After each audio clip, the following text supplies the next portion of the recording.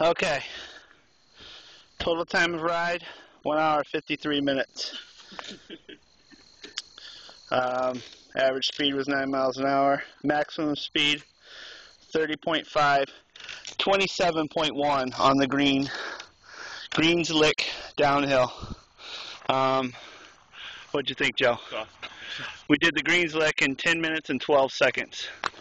Um, head to toe, sweat, dirt, mud. It did start raining. Um, bikes are in good condition. A Couple little things vibrated off, but all in all, well worth the ride.